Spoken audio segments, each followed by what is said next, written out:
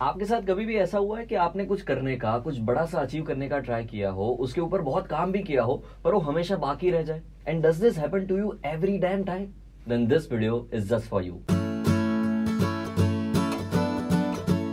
hi my name is RJ Vashishth and welcome to my YouTube channel in this two minute Tuesday video में बात करूँगा टीपे टीपे सरोवर बंधाए की। That's a Gujarati कहावत जिसका मीनिंग होता है छोटी छोटी बूंदों से भी समंदर भर जाएगा। हम जब भी किसी टास्क को पूरा करने का सोचते हैं तो हमेशा बहुत बड़ा सोचते हैं। मतलब आज मैं पूरी रात जम के पढ़ाई करूँगा और एक ही रात में सिलेबस खत्म कर दूँगा। गलती यहाँ पे ये करते हैं कि छोटे पैरों से बड़ी छलांग मारते हैं और फिर गिर जाते हैं। यानी कि सिलेबस खत्म नहीं होता। इनफैक्ट फ़र्स्ट चैप्टर भी खत्म नहीं होता। ओके इनफ ऑफ़ शाब्दिक examples let me share real life story with you just to stay fit मैंने हर किसी की तरह जिम की मेंबरशिप ली। पहला दिन जिम में गया मस्त एक्सरसाइज की। दूसरा दिन सेम तीसरा दिन सेम ऐसा करते करते पूरा महीना जम के एक्सरसाइज की। ये तो जिम में जाता है क्या? देख के ऐसा लगता तो नहीं है। हाँ भाई उसी पॉइंट पे आ रहा हूँ। सो so, एक महीना जम के जिम गया और उसके बाद एक छोटा सा ब्रेक पड़ गया और उसके बाद पूरा साल जिम नहीं गया। प्रोक्रास्टिनेशन जैसा हो गया। ठीक है यार, बाद में करते हैं। ठीक है ना, आज मूड नहीं है, कल जाते हैं। ऐसा करते करते पूरा साल जिम नहीं गया। तभी ये हिट किया कि जिम जाना पड़ेगा रेगुलरली जाना पड़ेगा। क्यों? क्योंकि पैसे भरे हैं, मेहनत के पैसे। तो तभी डिसाइड कर लिया था कि अब जाएँगे।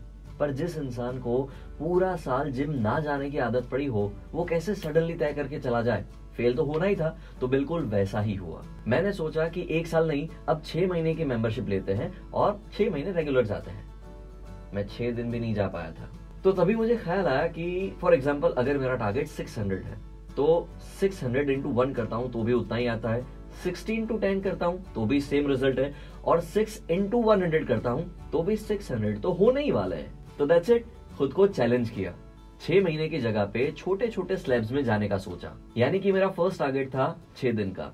पहले छह दिन को अचीव करो, उसके बाद थोड़ा सा बड़ा टारगेट यानी कि टेन डेज़ उसके बाद ट्वेंटी डेज़ और ऐसे ही टारगेट्स को बढ़ाने की और उनको अचीव करने की आदत पड़ जाएगी। और बिल्कुल ऐसे ही कब छोटा टारगेट अचीव होता जाएगा, आपको पता नहीं चलेगा, और उन्हीं सब छोटे छोटे टारगेट्स को अचीव करते करते सबको मिला के कब बड़ा सा टारगेट अचीव हो जाएगा that means thirty days in a row खत्म हो जाएँगे, आपको पता भी नहीं चलेगा। वैसे अभी तक मैंने छह दिन का ही टारगेट अचीव किया है next target is ten days जो कि कल से शुरू होता है। So hoping for the best so आज का जस्ट विचार ये है कि अगर आपको आपके टारगेट को अचीव करने में दिक्कत होती है तो उसी टारगेट को छोटे छोटे स्लैब्स में डिवाइड कर दो। पहले छोटे टारगेट को अचीव करो, फिर उसी टारगेट को थोड़ा सा बढ़ाओ और उसको अचीव करो और ऐसे ही आगे बढ़ो। फॉर एग्ज़ाम्पल अगर दो ही महीने एग्ज़ाम्स को बाकी है तो ऐसा मत सोचो कि यार जब एक वीक बाकी होगा ना, तब जम के पढ़ाई करेंगे। नहीं।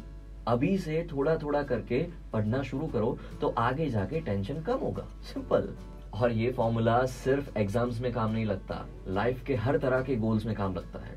आपको बस अपने हिसाब से थोड़ा सा मॉडिफाई करके उसको अप्लाई करना है। That's it all right that's it from my side thank you so much for watching wait wait wait thank you for waiting I hope कि आपको ये नया सेगमेंट ये नया जस्ट विचार आपको पसंद आया होगा। अगर आया है then please hit the like button ताकि पता चले कि देखने वालों में से कितनों को एक्चुअल में पसंद आया है। उसके साथ साथ ये बताइए कि कौन से कॉन्सेप्ट को मैं टू मिनट ट्यूजडे में फीचर कर सकता हूँ। तो कॉमेंट बॉक्स में लिखते रहिए। और उसके साथ साथ सब्सक्राइब टू माई चैनल अगर अभी तक नहीं किया है तो। और अगर कर दिया है then press the bell icon right इसी बात के साथ मैं चलता अपनी गली। See you in the next video keep मुस्कुराना. बाय